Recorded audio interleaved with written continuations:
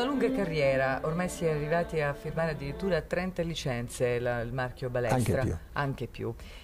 Mm, dal punto di vista stilistico, gli anni 70 che cosa hanno uh, significato? Ah, hanno significato moltissimo per me perché sono stati un po' l'affermazione del mio nome. Io ho cominciato, intanto studiavo ingegneria per cui mi occupavo di musica, pianoforte eccetera, per cui ero in tutt'altre faccende affaccendato da, da, da adolescente. Poi è capitato che mi occupassi di moda e ho cominciato a lavorare come freelance designer per tutte le case eh, più importanti che c'erano in quell'epoca. Poi ho aperto il mio atelier, ho fatto un po' anche di gavetta col mio atelier per affermarmi un attimo e poi sono cominciati i viaggi, è cominciata l'America, è cominciato l'Oriente, sono cominciati i viaggi internazionali e l'affermazione del nome che è successa proprio negli anni 70. Dal punto di vista stilistico che cosa hanno significato per la donna? Ma secondo me intanto ho una grossa ricerca perché cercavo intanto una, una, un mio stile, una mia identità. E, mh, sono stati degli anni abbastanza di scoperte perché, per me perché dopo questi trapezzi, queste linee un po' rigide così che andavano eh, in quegli anni io ho, ho cominciato a usare intanto tessuti morbidissimi che accarezzavano il corpo, si accompagnavano col corpo, qualcuno anche le prime trasparenze, le prime vedo e non vedo. E, e poi, poi i, ricami. i ricami. I ricami per i quali sono diventato abbastanza conosciuto. Poi i ricami perché? Intanto c'è una, una, grossa ricerca nel ricamo perché non deve essere mai fine a se stesso tanto per mettere delle pietre o delle cose su un vestito, ma deve fare parte di Uh, di, di, un tema, di un, di, di un, motivo e poi la ricerca anche di grandi, grandi mani, io le chiamo sempre le mani d'angelo perché probabilmente finite queste, no? se ce ne saranno altre che sappiano fare dei ricami così, così uh, stupendi come, come Ecco, a proposito artigiani. di artigianato, di alto artigianato, c'è spazio anche per eh, l'alta moda del 2000 mh, per questo artigianato? Ma spazio c'è, bisogna vedere se c'è la pazienza eh, per avere questo artigianato da parte degli artigiani. Io vedo che mm, si parla tanto dei giovani, io vedo, incoraggio sempre molto i giovani, faccio parte di una, eh, di un'accademia, addirittura sono professore onorario all'Università di Pechino della moda, poi non so tra Catanzaro, Palermo, eccetera, sono diverse idee, diverse, eh, diversi eh, scuole di, di artigianato alle quali io do molte volte il mio apporto. I giovani so, hanno molto talento, ce ne sono molti che hanno molto talento, quello che manca a loro è la pazienza, cioè per imparare e soprattutto il difficile mestiere della moda e dell'alta moda in particolare. Bisogna raffinarsi e non c'è mai abbastanza tempo per raffinarsi perché ci si può raffinare finché si vive. Io dico sempre cercate di viaggiare anche se avete pochi soldi, tanto la gente viaggia lo stesso, io non so perché, ci si lamenta sempre che i soldi non ci sono, invece gli aeroporti sono sempre pieni. Perché viaggiare apre la, molto la mentalità? Apre, apre molto la mente, apre, si conoscono nuove culture, nuove civiltà, poi bisogna viaggiare anche sapendo viaggiare cioè essendo curiosi, io dico sempre, cioè cercando di imparare eh, appunto l'arte di vari paesi, la, il, il, modo, col, le religioni, la cultura in generale. Gli anni 90 sono stati un po' segnati da un exploit del minimalismo che veniva appunto dai paesi d'oltreoceano e in Europa poco diciamo attecchito, però adesso c'è una controtendenza. Per fortuna. Io sempre a, a, sono stato un acerrimo nemico del minimalismo. Io, io amo il lusso, amo il bello e per chi può permetterselo, ma anche chi, per chi non può permetterselo.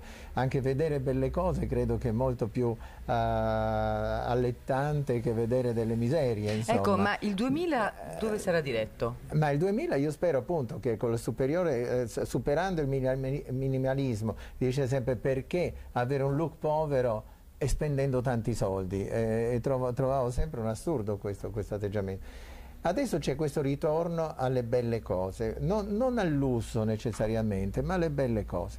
Per cui io credo che andremo verso questo. Poi ah, c'è anche da dire una cosa, la moda riflette un momento storico nel quale viviamo. Eh, quello che noi indossiamo oggi tra cent'anni sarà costume, per cui eh, è un'interpretazione di un certo momento storico. Per cui speriamo che i, i, il momento storico del 2000 sarà un, un, momento più di pace, più di relax, più di gioia di vivere eh, e allora rifletterà anche la bellezza nel vestire. Se andremo verso eh, catastrofi, no probabilmente, ma siamo ottimisti, pensiamo di andare verso a belle cose. Da, facendo un bilancio del, del, ruolo di Roma nel settore della moda e dell'alta moda in particolare, ehm, quale sarà il suo ruolo e qual è stato? Ma il ruolo dell'alta moda è, è, un ruolo molto molto preciso, un ruolo di ricerca, un, un ruolo di, di, creatività che molte volte eh, in altri campi eh, non si può avere appieno perché bisogna fare i conti con la produzione, con i costi. L'alta moda dovrebbe, dovrebbe perlomeno essere assolutamente un'esercitazione creativa e finché ci saranno talenti, finché ci sarà creazione e anche donne che potranno permettersi di vestire dei vestiti abbastanza costosi come sono quelli dell'alta moda, l'alta moda vivrà. Il ruolo di Roma sarà sempre, sempre prominente finché c'è l'alta moda. Noi abbiamo Milano che ha il pret-à-porter e tutte le linee del pret-à-porter. Roma ha l'esclusiva dell'alta moda, sta, io vedo che ho avuto la fortuna anche, e anche l'onore di essere stato eletto presidente del Comitato Alta Moda, ci diamo molto da fare perché Roma risorga come le spetta. Se dovessi usare due aggettivi per indicare i pregi e i difetti di Roma nel settore dell'alta moda. Allora, eh, cominciamo con i difetti perché poi andiamo sui pregi. I difetti forse proprio di una certa disorganizzazione che c'è stata a un, a un, in un certo periodo eh, di Roma Alta Moda, questo lo stiamo superando egregiamente c'è più organizzazione, c'è più attenzione da parte delle autorità eh, anche cittadine eh, di Roma, per cui c'è questa collaborazione che sta già dando i suoi frutti. Per quanto riguarda i pregi, io posso dire una, una, cosa soltanto, che ho detto molte volte ultimamente, cioè Roma ha dei talenti indiscutibili. Io credo che eh, può benissimo stare alla pari di tante altre collezioni in altri posti uh, che siano italiani o che siano esteri. Eh, bisogna dare eh, lo spazio e, e, e l'entusiasmo a questi talenti per creare sempre meglio e io credo che senz'altro l'alta moda avrà ancora lunga vita. Ok il suo connubio con il mondo dell'opera? Ma è, è, un connubio che è nato prima come grande passione, la passione in generale per la musica. Io mi ricordo che ancora ragazzino, alle, alle mie prime armi come, come col, con la tastiera, avevo scoperto, mi ricordo ancora come oggi, Morte e trasfigurazione di Strauss. E da quel momento c'è stato amore a prima vista, a primo, a primo orecchio. E ho sempre coltivato la passione per la musica, sia a concerti sia all'opera. Ho fatto dei costumi per una Turandot, ho fatto per la Cinderella di Rossini con ecco, grande cosa successo. significa per uno stilista questa sfida uh, del costume? Ma ogni volta una sfida, qualsiasi cosa. Io ho scritto un libro, è stata una sfida, ho fatto so, delle trasmissioni, è stata una sfida.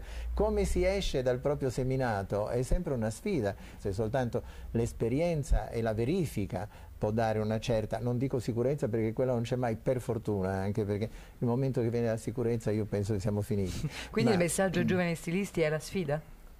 Eh sì, certamente, ma la sfida anche per me con la prossima collezione è sempre una sfida, bisogna, bisogna sempre, una sfida perché? Perché bisogna sempre tentare di conquistare nuove mete e nuovi, e nuovi traguardi.